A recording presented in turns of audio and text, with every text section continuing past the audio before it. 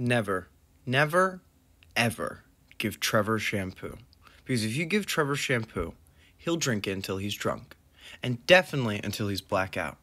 When blackout, Trevor will want to adventure outside. If Trevor manages to get outside and he's blacked out, he'll feel on top of the world. The world will feel like his playground. He needs people to know this, which will most likely piss off some of our neighbors who don't like us to begin with anyway.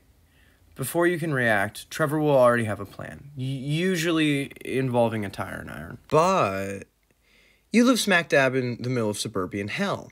So, time to drag Carl to the car. Your roommate's inability to read a room, mixed with his psychosis, has made your Saturday all about hiding Carl, which really, really sucks.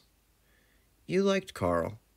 But now you've found a secure place, got rid of Carl, and can finally go home, take a long shower, and just think about everything. Until that is, a cop that's been on your trail since entering the park lets himself known.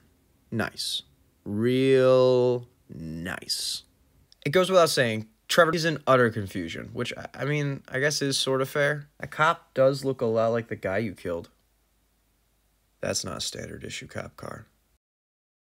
So apparently, the guy you killed was this guy's identical twin brother, and they're both the toughest enforcers from the illest gang this side of the Mississippi. Because of course they are. Fuck your life. So this is it. I hope now you get it. Trevor drinking shampoo equals death. You just want it to be done. Want it to be easy. You want it to be quick. Or, that is, if not for one mysterious stranger, somehow, some way, the luckiest of people happened to be right place, right time. And besides that stranger pressuring you to buy a busted ass iPhone 6 from him on the streets for money in exchange for his services, you're done. You're able to go home, sleep, even if you're out $200.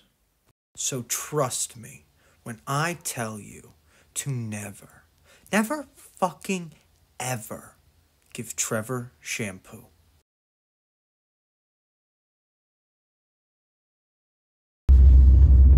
You bastards killed my brother.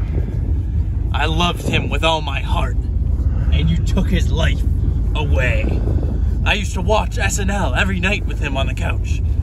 But I didn't really like Jimmy Fine. What? Fuck. His name isn't Seinfeld. It's fucking Jimmy Fallon. I fucking hate that guy.